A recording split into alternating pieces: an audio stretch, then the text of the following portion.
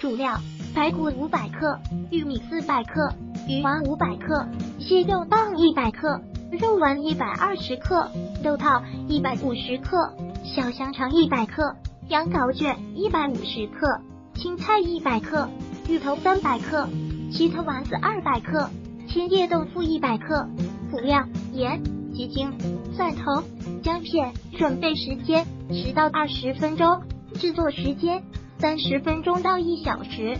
玉米洗净剁块，排骨洗净烫掉血水，把洗净的排骨、玉米倒入汤锅里，调入盐、蒜头、姜片，大火烧开，中火炖煮。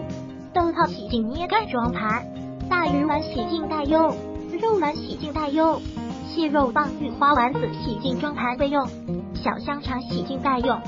千叶豆腐洗净装盘，青菜洗净滤干，羊羔卷拆封备用，芋头去皮洗净切块待用。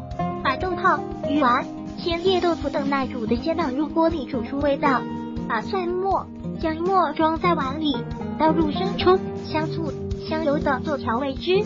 待锅里的东东都熟了，即可刷各种自己喜欢的菜吃了。羊羔卷在滚水里涮几下即可食用。